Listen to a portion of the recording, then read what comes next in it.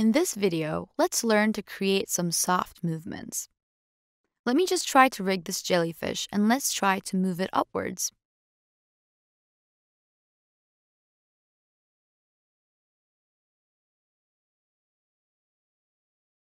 Since our jellyfish is already rigged, let's try to animate the tentacles. As you can see here, when I'm trying to move the tentacles, it's very much rigid. It is not how we wanted it to bend. Tentacles are much more elastic and bend more organically. In order to make the deformations more organic, we can make use of the bone type option in the Properties panel. Right now, it is a hard bone. Let's try to convert it to a soft bone. So click on this joint, and you can see the active bone is highlighted in orange. And when you convert it to a soft bone, you can see the indication here the bone type is changed to a solid line. So now, when you try to move the tentacles, as you can see here, the tentacles move in a much more organic way.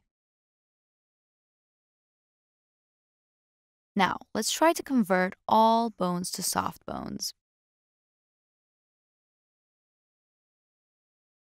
Since our tentacles are converted to soft bones, Let's try to make this jellyfish move upwards in order to animate this jellyfish to move upwards.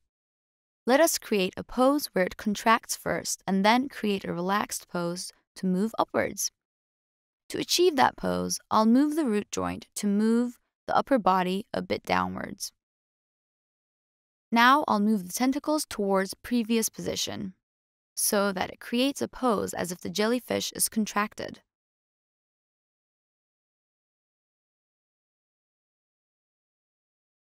So for the jellyfish to move upwards, the tentacles have to be straight. Now I'll move the root joints so that the entire body moves upwards and then I'll bring back the tentacles to its previous position to create a stretched and relaxed pose. So this is very much a time-consuming process to move the tentacles in each and every keyframe. So in order to make this workflow easier, there's an option in Properties panel called Freeze Joint. Now, let me try to freeze the joint at the end of the tentacles and try to redo this pose. Click on this joint, and then you can enable the freeze joint.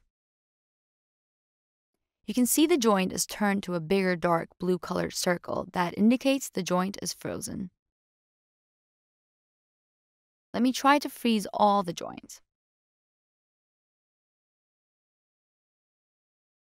Now, if you move any of its parent joint or the root joint, you can see the ends of the tentacles are always frozen, and if you want to move the end of the tentacle, you can directly interact with the frozen joint to move it.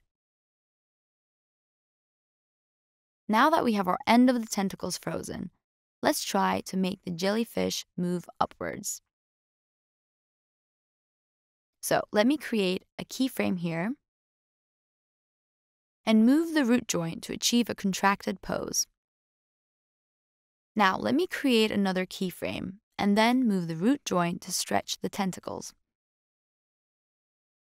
Create one more keyframe at 160th frame and then move the entire composition upwards by using Selection Tool. Since our poses are set, let's try to animate it using Classic Tween.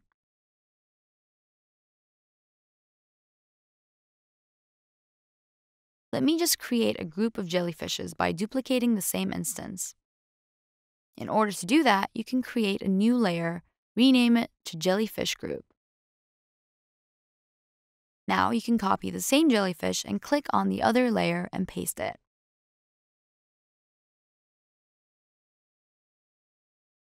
Create one more instance of the same jellyfish, scale it down,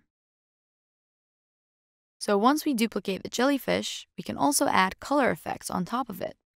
Now to do that, click on the object, go to Color Effects in the Properties panel, and you can add any of the effects over here. Let me add some advanced color effects here. Let's try to change the jellyfish to an orange color. Let's add a bit of green tint to the other jellyfish.